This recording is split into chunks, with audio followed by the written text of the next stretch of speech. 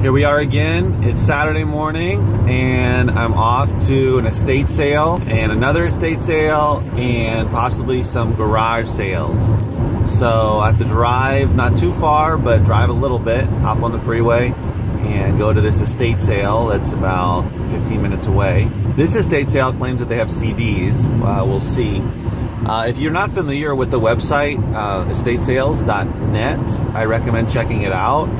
It uh, lists estate sales in your area. You can look it up by zip code, and I'm not sure if they have an app, but uh, their website works really well. You can look up the local estate sales that they have nearby, and then it'll list them based on distance or date, etc. You can sort them that way. Lately, I found a few good estate sales, uh, and we're sort of hitting that time now where there's going to be a lot more of that stuff going on. So it's worth checking out. It's a you know in addition to I use a garage sale finder app.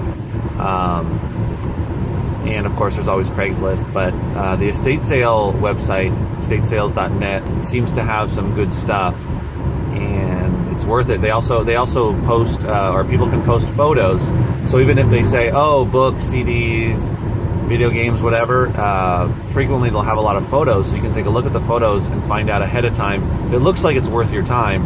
Because often they'll say books and then they'll all be really old or really messed up or not the kind of books that um, that will be worth going to see. Now, you know, if it's nearby, you know, you can go check it out. But if it's some, if it's you know 20 miles away or 30 miles away, you might not want to drive that far to find out that all the books are from 1950 and not in good condition or not worth selling on Amazon, etc. Keep that in mind as well. You don't want to waste time. Kind of plan it out strategically. Oh well, you know, if, if there's photos, great, look at them. If not, then you know, what are you going to do? You can just go and, and give it a shot.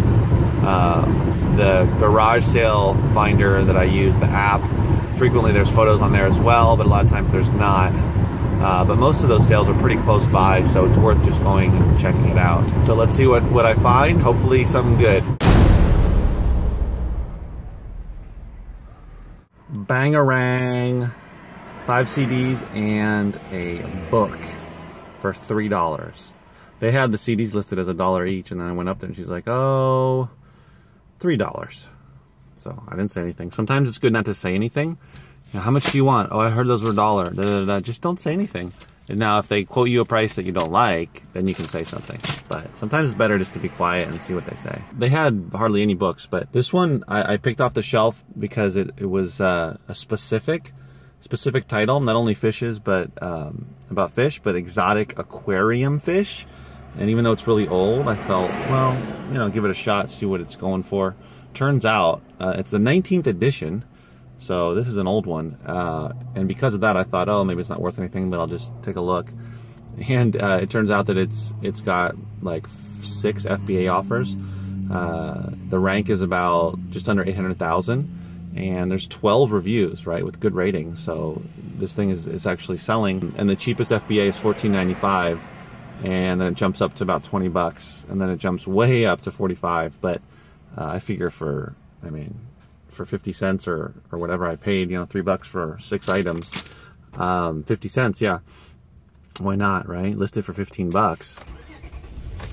See that's a deal. Um, it's acceptable condition, but that's all right. And the CDs were pretty good. Uh, nothing, nothing spectacular, but all, you know, about 10 bucks and up. So that was good. So six items so far. Let's go to the next one, see what we can get.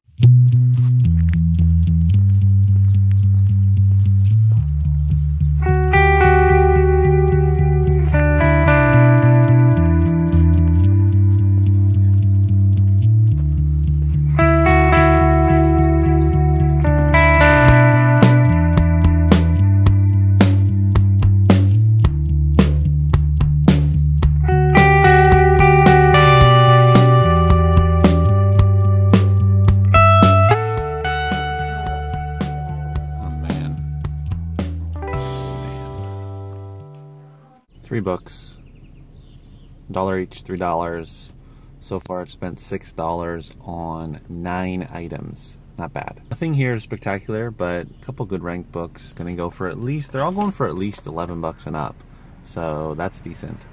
Um, they had a little more book, a few more books there in the back, in the backyard, and some bookshelves. Um, who do you think mostly goes to estate sales? Resellers or people just looking to buy stuff for personal use? Because it seems to me like most people that go are looking to just buy stuff for themselves.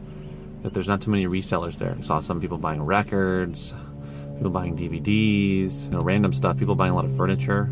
This was a nice house, uh, had some nice furniture, nice stuff. No one looks at the books. I'm like the only one looking at the books.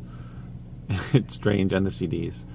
Uh, it's the same almost everywhere I go, no one looks at books, no one looks at CDs. People, more people look at CDs than books, but books are largely left. That's what's so great about them is that people just don't want them. They don't go to a state sale to look for books. So I wonder though, you know, I think mostly people that go to these are just looking, just looking to, to buy some furniture for themselves or knickknacks or they're hoarders or who knows what. Um, but I find estate sales are the best, even better than garage sales. So nine items so far. I'm going to go to one more at least. And let's see what happens.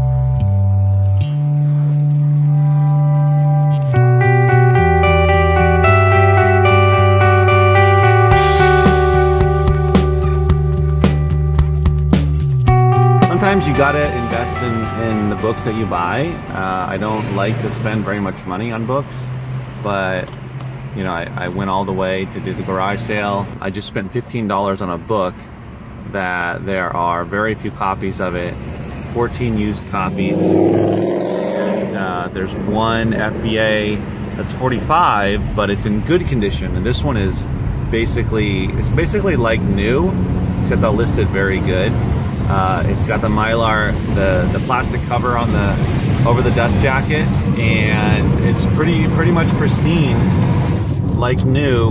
Um, and uh, there's not very many copies, so there's a couple of MF copies, very good copies for forty dollars, but it's signed by the author, and it is a big hardcover, uh, one of those oversized ones. About it's called Portraits from the Deep Portraits from the Deep by Guy Harvey. So, photography.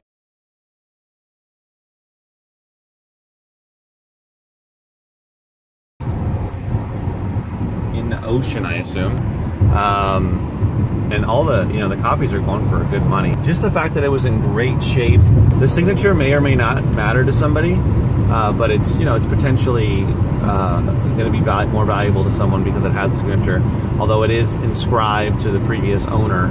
Um, but even if the signature doesn't bring more for it, just that it's in great shape, and there's only one FBA offer, um, so I can list it. I mean, I, I might just list it 100 bucks, 99.95. Sit on it, see if it sells. If it doesn't, I can always drop it slowly by 10 bucks or so. Uh, even if I sold it for 69.95 or something like that, uh, I'd still make good money. I usually don't spend that kind of money on a book, but I felt like it was good, a good buy that it would definitely sell at some point, and I would.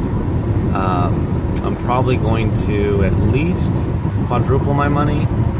So I'll probably, you know, I want to make at least. I like to make at least fifty dollars off of it uh, after considering, you know, the fifteen bucks. So um, we'll see. You know, even if I make forty, it's it's. Uh, it, you know, sometimes you just you, you spend a little bit more money on books, and that was a nice book, and uh, I could have skipped it, but I did it anyway. And the rank is 1.8 million, so it's going to be a slow seller, but that's okay. Even if it takes a year, it's uh, it's going to do well. But the other book that I got there is even better. It's uh, this one, Aloha Magnum. So it's a memoir from uh, one of the actors on Magnum PI now that one I got for 25 cents, and I kid you not, it's got multiple FBA offers, I think five or six, and the lowest FBA offer is $47. $47. Now, it jumps from 47 all the way up to 70 something. So, and the rank is in the 300, like 380,000. It's got many reviews, so it's selling steadily. Uh, I think I'm going to go for the 70 to $80 range.